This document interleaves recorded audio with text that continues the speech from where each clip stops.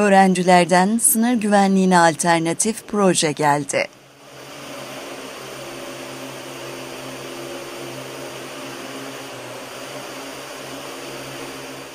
Eskişehir'de bir grup üniversite öğrencisinin güvenliği sağlamak amacıyla yaptığı dört rotorlu insansız hava aracıyla gözetleme projesi, sınır karakollarında ve askerlerin ulaşamadığı yerlerin takip edilmesine katkı sağlayacak. E, sınır bölgelerinde askerlerin ulaşamadığı noktalarda e, sınırdan geçişleri e, takip edilmesi ya da geniş bir alanda örneğin bir fabrika bir havaalanı gibi bölgelerde dışarıdan kişilerin havaalanına fabrikaya girip girmek istemedi, istenmeyen kişilerin girip girmek istemediğini kontrol amacıyla kullanılabilir. 4 bin liraya mal olan ve uçak görünümüne sahip insansız hava aracı yaklaşık 2000 metrekarelik alanda yarım saat havada kalabiliyor. Ee, biz kamerayı kullanarak görüntü işleme yapıyoruz, hareket algılama yapıyoruz.